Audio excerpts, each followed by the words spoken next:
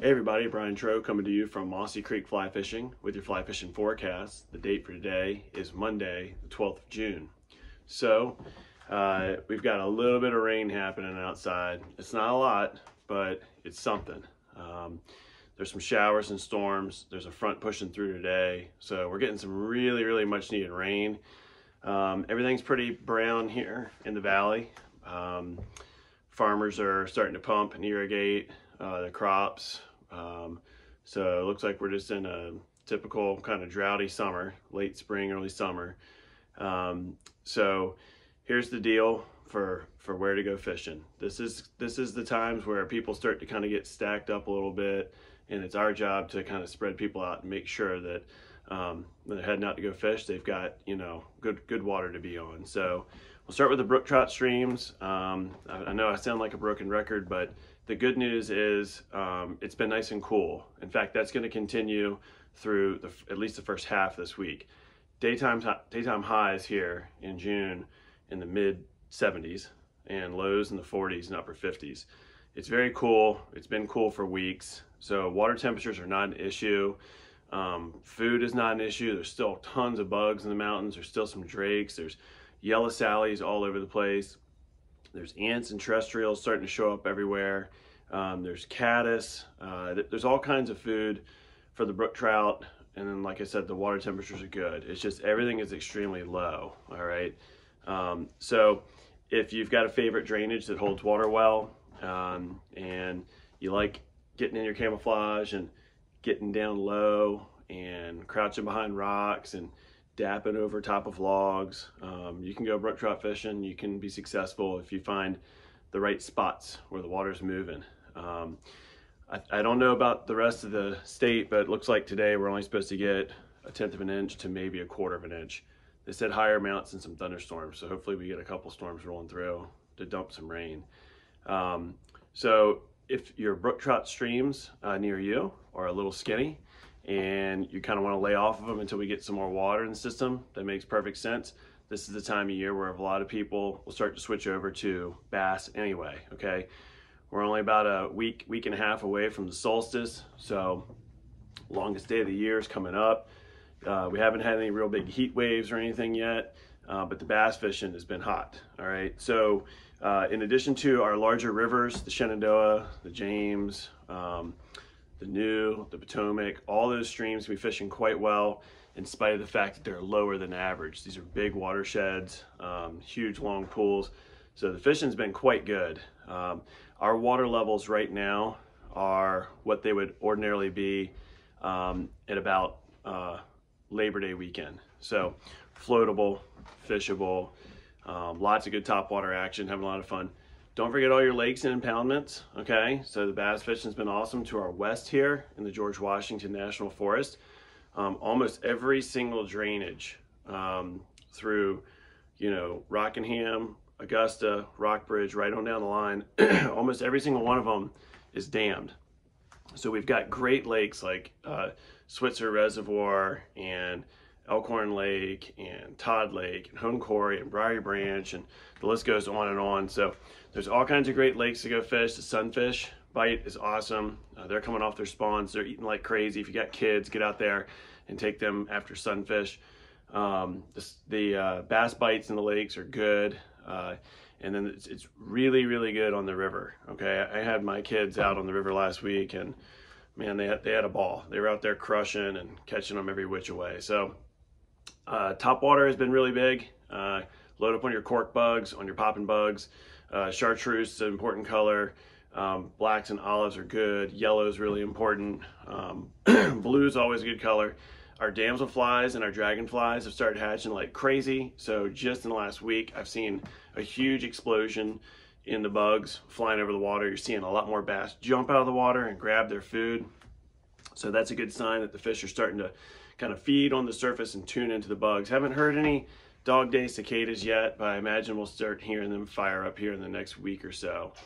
Um, traffic on the rivers has been pretty good, not too crazy. Um, and um, so for you trout fishermen that want to just keep on, keep on trout fishing, um, that's cool. You need to go find some streams that are more stable, like spring creeks, like Mossy Creek. So it's not that it's not that Mossy doesn't get low. It's just low for creeks like that is a few inches low and clear. So the fish are a little bit more skittish. Um, still plenty of cover. This time of year on our spring creeks, if they're a true spring creek like Mossy Creek, um, the fish actually get more and more cover um, as we go through the summer. It's kind of the opposite of freestone streams. Freestone streams, as the water level drops, the fish get exposed, they get more skittish, they're getting picked on more by birds and everything eats trout, you know, uh, the otters, the osprey, uh, the kingfishers, the eastern water snake. Um, but creeks like Mossy Creek and Smith Creek and some of our other spring creeks that have a lot of aquatic vegetation, the vegetation grows up like crazy along the banks as well as in the stream itself. And so streams like Mossy Creek actually provide a lot more cover for the trout as we go through the summer. Now, unfortunately, that same cover is what makes you get hung up a lot and caught up a lot, um, and it makes it more difficult to kind of navigate with nymphs and things like that. But hey, you just gotta fish better, you know, you gotta get good at it. Fish stuff that's just strong enough to get you back out of those weeds, okay? Um, you'll learn the breaking strength of all the vegetations along these creeks. If you do it long enough, you'll know whether you're getting your fly back right away. Um, on the spring creeks, there are still some drakes around in the evening. Um, the trico hatches are gonna become more and more important because we're gonna start losing those big, you know, meaty bugs every single night. The fish get used to seeing those every single night. That dries up by about the second or third week in June. And when that happens, those little size 18 and 20 tricos hitting the water at 10 or 11 o'clock in the morning become much, much more important. So we're gonna have this little moment where we've lost most of our mayflies, but we've got these tricos and the terrestrials haven't really set in in big numbers yet. And um, I know a lot of people hear that and they say, I don't want anything to do with the trico, they're too hard to fish. You don't typically have to fish the trico itself, okay? The beauty of small bugs in great numbers is it gets fish up in the water column.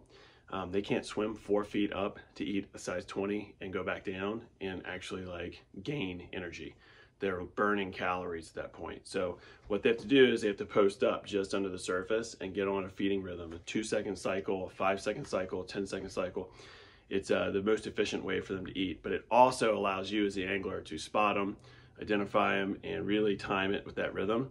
Um, I typically start off with something bigger that I can see really well, like a little PMX or an ant or a beetle or something like that, and let that come right down through the drift. So use the Trico spinner fall to get the fish up in the water column and feeding. Um, for those of you who don't, who aren't able to thread a size 20 hook or doesn't want to fish six or seven X, don't think of it in terms of fishing these small flies. Think of it as using the small flies as an opportunity for you to fish to a rising fish, to sight fish, okay? So spring creeks have been pretty fun if you're a technical angler. Again, stealthy approach is really important, especially on spring creeks. Sometimes you're standing six, seven feet up on a high bank, okay? And the fish are just looking right up at you. To get down, take a knee, take longer rods. I have a lot of people that show up on these spring creek trips with, you know, seven foot six, three weights and four weights. Those don't help you at all, okay? Um, they're, they're, they're difficult. Um, you need to be able to have a longer stick. Um, some of the 10 foot three weight guys do a lot better because they can just get up over those moss beds and um, keep their rod high while staying low. All right.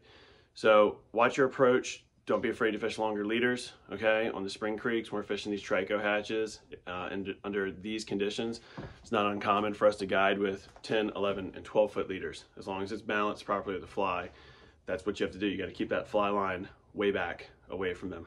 Uh, a yellow line just drifting over a fish when it's spooky can put, can put them down. Um, okay, so kind of to recap, brook trout fishing. If you've got decent pools, decent flow in your neck of the woods, um, it's not hot, they're not super stressed out. In fact, they're just easy to spook and easy to scare. So get out there and enjoy them if you can.